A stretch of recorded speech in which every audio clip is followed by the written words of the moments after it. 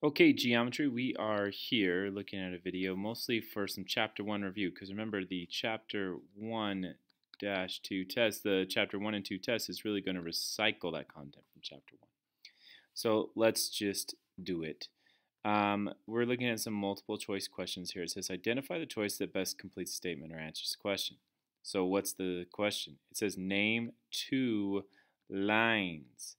All right, now when we're talking about lines, they have to pass through a couple points, and we also call these lines by little arrows on the top and bottom, and it's given by two points, you know, uh, one point here, one point here, like it could be line AB, that's line segment. This would be line AB, this would be line CD, so let's look at what we have. I could automatically cancel out A and B because only C or D makes sense because those have lines in them. Well, let's see what these are doing. Uh, let's see what these labels mean. This one says WC and WT. So WC and WT. Okay, well that's kind of different because that's really just the same line overlapping itself. But then let's see what the other one is, see if it's any better. Okay, so then the other one would be WC and CR. That would be the two lines there. Instead of just uh, giving me one line in two different ways, now it's naming two lines. So the answer then would be C, WC and CR. Okay, that was easy enough. Let's see what else we got in here. Let's scroll down a little bit. let's look at these. Uh, this next one, it says, let's see, D is between C and E, CE is 6x. So they basically are saying everything up here, but then it's in the picture there. All right, so this is an addition postulate. You got like this piece here, and then this piece here, and then together they equal the whole thing. So we need to do something plus something equals the whole thing. So the one piece is 4x plus 8, and then the other piece is 27, and then after that the whole thing is 6x. All right, so let's put things together, see what we get. So if we were to combine this 8 and 27, because they're on the same side of the equation, then we would have 4x plus 35, and then we got 6x on the other side. Now if we subtract 4x from both sides, we would have 35 equals 2x or x equals 17.5 and you might be thinking um I don't see wait there it is. But wait a second this says CE equals 17.5 and I have x equals 17.5 because when they tell me to find CE that means I really got to find what is 6x well x is 17.5 but CE is 6x which would be 6 times 17.5. Okay, so what do we do with that now? Well, 16 times or 6 times 17.5, that's the same as 3 times 35, or or 105. There you go. That would have been your answer. All right, let's uh, let's do another one here. New color. The map shows a linear section of highway, linear, that's interesting, section of Highway 35. Today the Ibarras plan to drive 360 miles. So there they are. There's 360 miles from Springfield to Junction City. They will stop for lunch in Rosenberg, or Roseburg. I think this is Roseburg right here, which is at the midpoint. Ooh, that's an interesting word. If they have already traveled 55 miles this morning, how much farther must they travel before they stop for lunch? Okay, so if this is the middle, that means that SR and RJ are each two equal halves. So we're going to take 360. Let's split that in half. That means this side would be 180 and this side would be 180. So we have 180 for this first half before they get to the lunch at the beginning. And that means I have 55 plus this leftover. 55 plus something is going to equal that first half 180. Well, let's figure out what that leftover would be. And I think that's what they're asking us, to figure out how much left do they have to travel.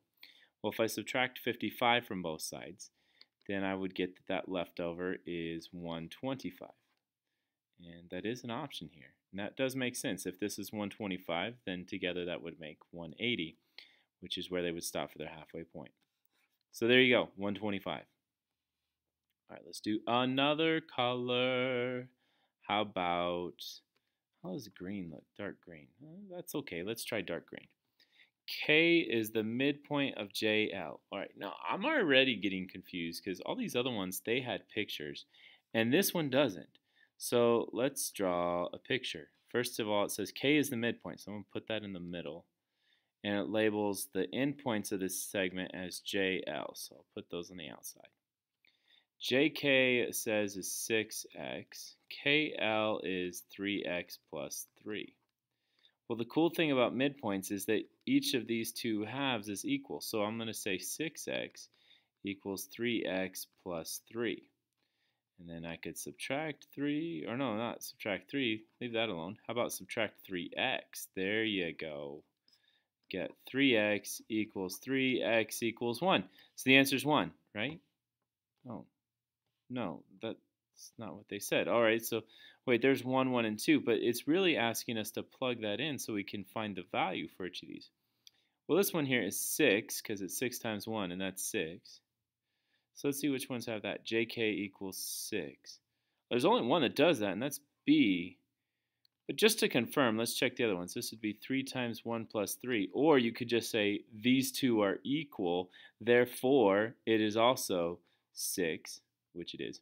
And then the whole thing is 12. Okay, so we got 6 for JK, 6 for KL. All right, check, check. And 12 for the whole thing, because 6 plus 6 equals 12. So the answer would be B. So we got B for number 4. And what did we get for this one right here? We got A for number 3.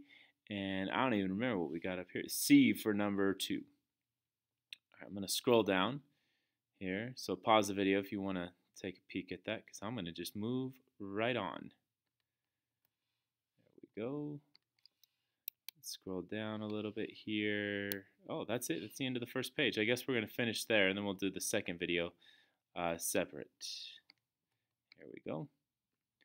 All right, so BD bisects. Ooh, that's kind of like midpoint bisects. That's like cut in half.